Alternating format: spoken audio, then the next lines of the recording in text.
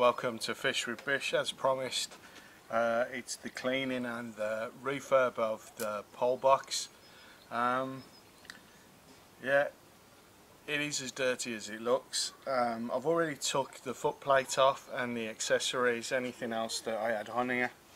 So basically what I'm going to do is I'm going to break it down very quickly. Um, as I explained before, it is a Ron Thompson uh, carbonite box it's a really old box but it's never let me down. So uh, I'm going to stick with it.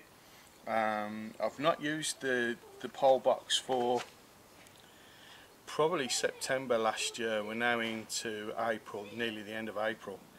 Um, so it's been sat in the shed. I've took everything out of it so that we can just break it down start cleaning it straight away. So no mess about let's get on onto it. So let's just take the topper. I'll give you a proper tour once it's once it's clean. So there's my seat. Then we have a set of drawers.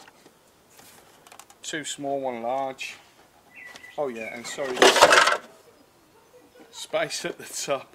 The space at the top to put rigs in. And on the bottom bit, there's space there to put a bit of bait or any of your large things, possibly reels or anything like that. I tend not to carry much in the box, I carry it in a separate bag purely because it's easier to carry the box. So what I'm going to do, I'm going to move this out of the way, start at the top, so let's deal with the deal with the seat. I say it's quite it's quite old, but like there's no splits or anything like that in it. Um, just needs a clean, so let's get on to it. I'm going to start off with just warm soapy water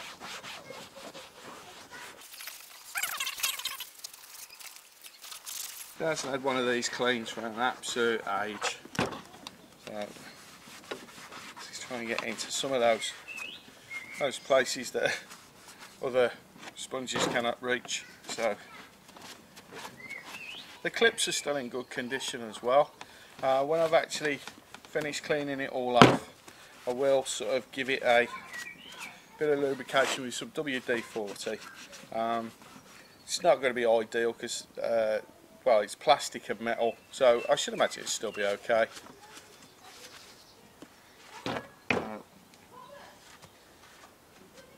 What I'm going to do because there's going to be obviously a lot of soap residue there I've got a roll of uh, paper. So what I'm going to do is just give it a quick wipe off. What I'm going to do with this piece of vinyl that's on the top obviously it's not leather uh, or anything like that it's not leather or anything like that. So what I'm going to do, still I'm going to use a bit of furniture polish just to feed the vinyl if you like, stop it cracking, give it a bit more, give it a bit of a feed. Oh, just, just thinking about fishing all the time? Um, so we'll give it a bit of a bit of a feed, but I'll show that a bit later on. So there we go, nice clean seat. Let's put that over there. Right, let's move on to the let's move on to the, the section with the with the drawers in. Obviously for ease, the drawers have got magnets at the back. Uh, they do come out. There we go. There's one. There's two. And obviously the bigger one. I've put the uh, some of the some of the uh, what's in there for holding on the legs. We'll do the actual box itself first. Again, just like soapy water. What I might do is maybe a little bit of a little bit of a time lapse here because you've seen one bit of cleaning, you've seen it all.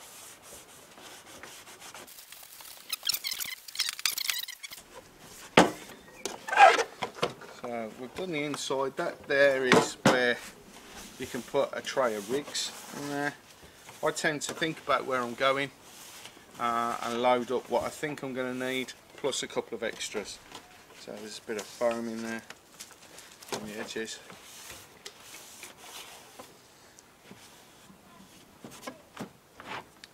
Right, so there we go. That's the top nice and clean. Let's move on to the sides again, hot soap and water.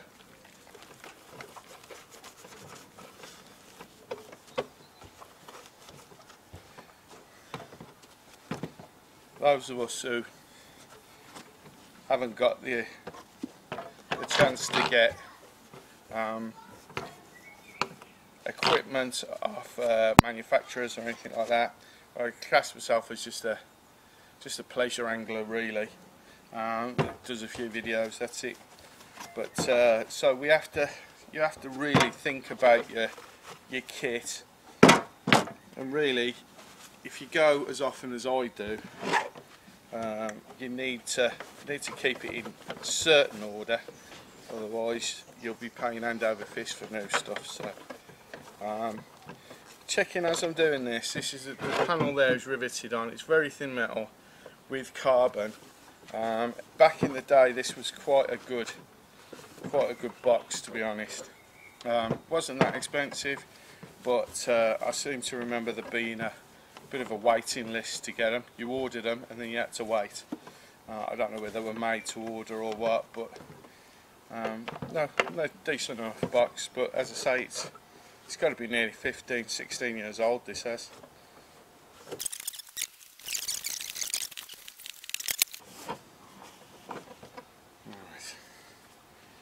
So let's put that over there to dry. Let's move on to the drawers. It's fairly straightforward really. Um, as I say there's nothing in them. There was some pieces of foam to go up the sides and uh, at the back. What I've done is I've taken those out um, and what I'm thinking of doing is getting a piece of some foam and just replacing them to be honest. Maybe stick them back in with double-sided sticky tape and it just stops the stuff really sort of rattling about but as I said I tend not to keep too much in here probably hooks I keep in in the drawers. Actually that's probably a better idea. Another section done. And it's same again really and as I, as I say, said before I have taken the uh, I have taken the foam out of all of them with a with a view to replace it. I have got some some hard wearing stuff which is a bit better than the soft stuff that was in here. But again it's lasted so long so oh I was going to say a bit of rust there but there's no rust on there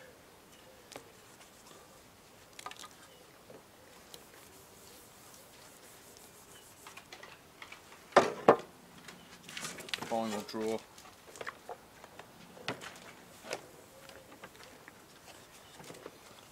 It's one of this is one of them jobs, and we we've all got them as fishermen that like you know they need doing. Like you get back from a session and it's been particularly muddy, or as it was uh, late last year.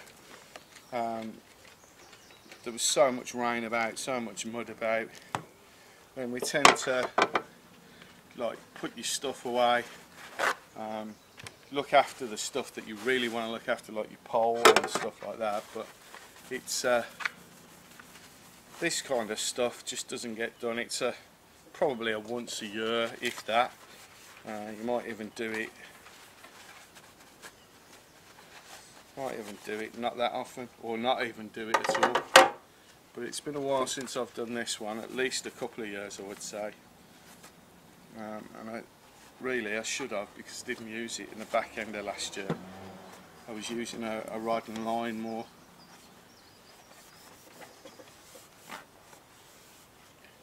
So there we go, that's the drawers done. Now we're going to work on the base, which is probably, as I said, uh, the base part, this part in here is absolutely filthy. Um,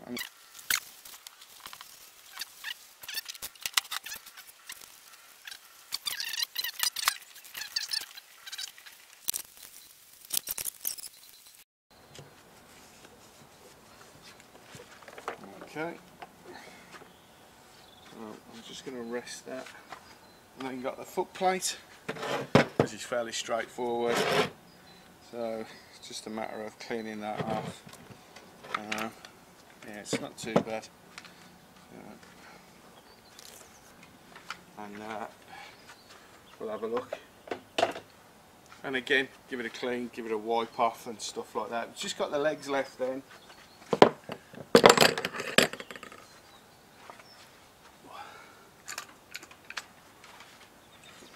That's the actual that would be the actual seat box, not including any uh, any sort of add-ons that I've got. But uh, I'll clean those as well because obviously they get used. Right, so just do the legs. These probably the only bit that have got any real wear on them. Um, I'm just trying to see one that's got it. Uh, probably that one.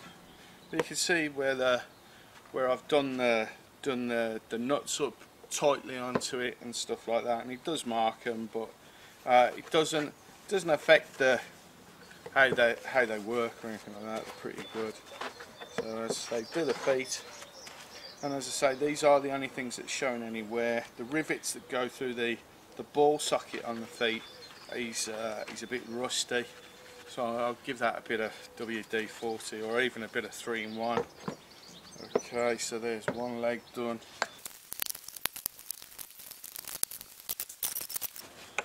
Uh, it's not a major a major issue to be honest drying them off, especially when the weather's like this. So I'm just going to give them a quick rub. So let's start off with the base. There we have it. Right, so we've got a few moving parts on the base. We've got these rings which are for the shoulder strap, um, which is probably the only thing that I, I, I, still have it, but it's damaged. It got, well, we've, we've all had it in the past. I think it was mice damage, but I'm still going to spray these rings up.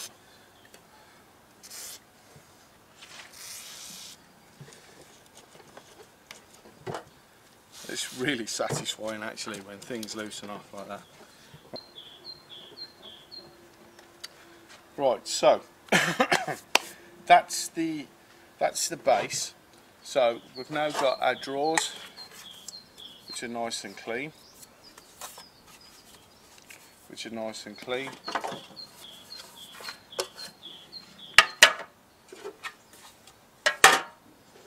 we've got a drawer section, which again nice and clean. What I, what I am going to do is down in this section here I am actually just going to spray some of the WD-40 although there's not a groove that it sits on it does run on those runners there so there's some runners just inside on the two sides sorry not on the so I'm literally just going to tiny squirt There we go.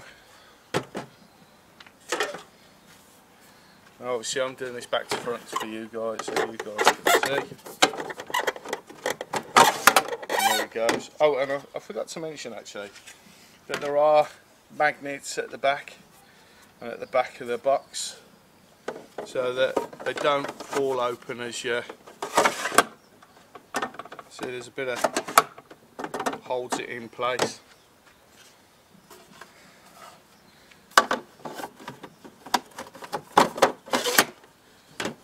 So that then fits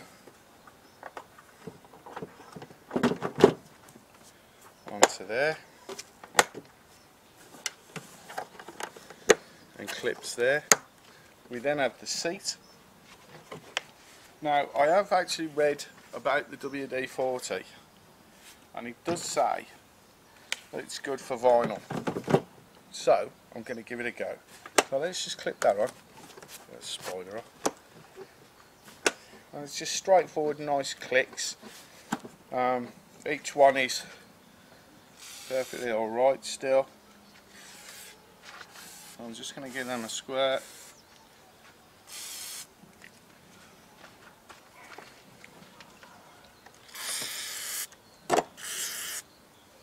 And then I'm just going to give this a squirt. Now obviously I'm not going fishing for a while as any of us so, what I'm going to do is give that chance to sink in and I'm just going to give it a quick wipe off.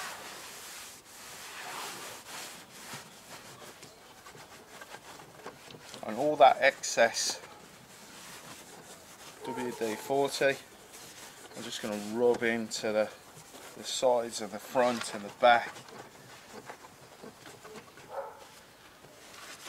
And as you can see, as you can see, it's just giving it a nice, a nice shine. And as I say that with the vinyl, the vinyl will be because it, I've not put anything on it for a while. It'll be quite hungry, if that's a, if that's the right way to say it. But that will soak in into the into the actual vinyl itself. Maybe give me another year or so before it cracks. Because what you don't want is vinyl or leather. Uh, wish it was leather. You don't want vinyl or leather to uh, dry out because that's when it cracks. Okay, so I'll just give this a spray on this side.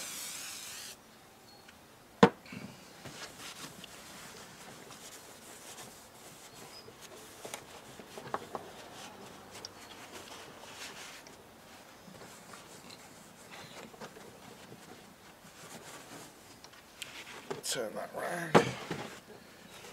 So you can see the back and then I'll just do give this front a quick spray. And then hopefully this the WD-40 itself will give the, the actual boxer a bit of a lift. And as I say if I was using the box tomorrow probably wouldn't use this much WD-40 uh, I'm not sponsored by WD-40 by the way because I keep saying it I know but uh, there we go. That's looking good now. I'm liking the look of that.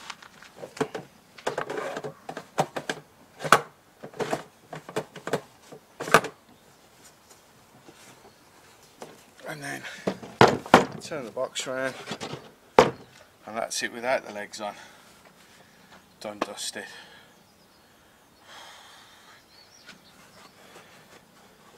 and you know what? I've quite enjoyed that guys. Quite enjoyed that